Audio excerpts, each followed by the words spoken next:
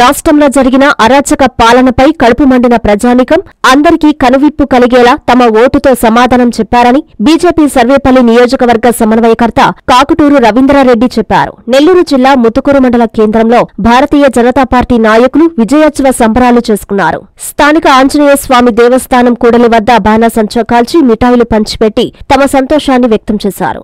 ఈ సందర్భంగా బీజేపీ జిల్లా అధికార ప్రతినిధి వేళ్ళపాలెం సుబ్రహ్మణ్యం రెడ్డి మాట్లాడుతూ దేశంలో మోడీ సర్కారు రాష్ట్రంలో ఎన్డీఏ కూటమి చంద్రబాబు నాయుడు ఆధ్వర్యంలో డబుల్ ఇంజన్ సర్కారు పాలనలో అభివృద్ధి సంక్షేమం చూడబోతున్నామని చెప్పారు. ఈ కార్యక్రమంలో బీజేపీ మండల అధ్యక్షుడు వేళ్ళపాలెం సంపత్ కుమార్ రెడ్డి కార్యదర్శి ఈపూరు శివ మునెమ్మ ఈశ్వర్రెడ్డి పవన్ శ్రీను చిట్టిబాబు సాగర్ వంశీ తదితరులు పాల్గొన్నారు. ముత్తుకూరు ఆంజనేయ స్వామి గుడి సెంటర్లో Bharatiya Janata party NDA government విజయాన్ని పురస్కరించుకొని మేము ఉత్సాహంగా అందరికీ శుభాకాంక్షలు తెలుపుతూ ఈరోజు ఈ కార్యక్రమంలో మొదటగా భారతదేశంలో నరేంద్ర మోడీ గారి నాయకత్వంలో మూడవసారి మనం బీజేపీ గవర్నమెంట్ పంప్ చేయబడుతుంది. అది ఈరోజు దానికి తగ్గట్టు ఆంధ్రప్రదేశ్లో డబుల్ ఇంజిన్ సర్కార్గా చంద్రబాబు నాయుడు గారి సీనియర్ నాయకత్వంలో మనం ఈరోజు రాష్ట్రాన్ని అభివృద్ధి దిశగా పాలించుకునేదానికి మనకు మంచి అవకాశం వచ్చింది. ఇప్పుడు దాకా పాలించిన గవర్నమెంటు పోలీసులతోనూ మరియు అరాచక పాలనతో చేసిన దానికి ఆంధ్రప్రదేశ్ రాష్ట్ర ప్రజలు కనువిప్పు చేసే విధంగా ఓట్లతో వాళ్ళ కడుపులో ఉన్న బాధలన్నీ ప్రతిబింబించారు. ఇదే విధంగా ఆంధ్ర రాష్ట్రంలో ప్రతి ఒక్కరూ విజయానికి చిహ్నంగా సేవలు చేస్తే తప్ప ఊరికే పథకాలు ఇచ్చేసి మేమేదో ఉచిత పథకాలు ఇచ్చాము చేసాము రాష్ట్రాన్ని మేము దోచుకు తిన్నాము అనే విధంగా చేస్తే మాత్రం ఓట్లేరని చెప్పి ప్రజలు అభివృద్ధికే ఓట్లేస్తారని చెప్పి ఈరోజు ఆంధ్ర రాష్ట్ర ప్రజలు వాళ్ళ ఓటుని నిజాయితీగా ఓట్లు వేసి ఈ రాష్ట్రాన్ని మంచి దశలో పాలించుకోవాలా? మనకు పైన నరేంద్ర మోడీ గారు రాష్ట్రంలో చంద్రబాబు నాయుడు గారు ఉంటే ఆంధ్ర రాష్ట్రం బాగుపడుతుందని చెప్పి ప్రజలందరూ గ్రహించారు. ఆ విధంగానే ఓట్లేశారు.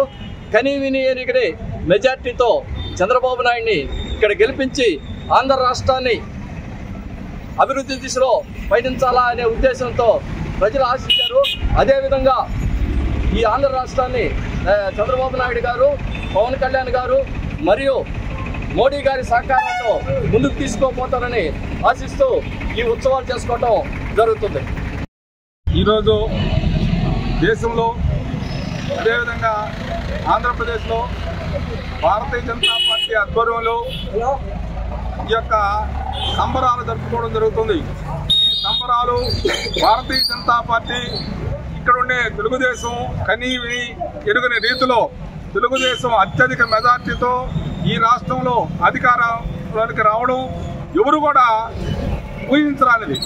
ఈ యొక్క ఈ రాష్ట్రాన్ని పరిపాలించిన యొక్క వైసీపీ ప్రభుత్వం చేసిన అరాచకాలు దౌర్జన్యాలు దోపిడీలు భూ ఆక్రమణలు ఇసుక దోపిడీలు వీటన్నిటి యొక్క దోపిడీ ఈ రోజు భారత ఈరోజు ఆంధ్రప్రదేశ్ రాష్ట్ర ప్రజలకు పూర్తిగా అవగాహన అయింది.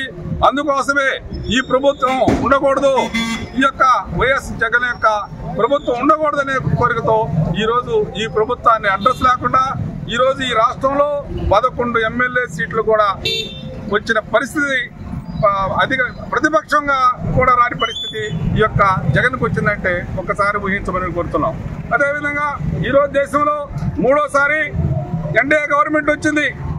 అందరూ ఏ ఏ ప్రభుత్వం కూడా పది సంవత్సరాల కంటే ఎక్కువ ఉండదు. పది సంవత్సరాల తర్వాత ఏ ప్రభుత్వానికి కూడా వ్యతిరేకత ఉండదని.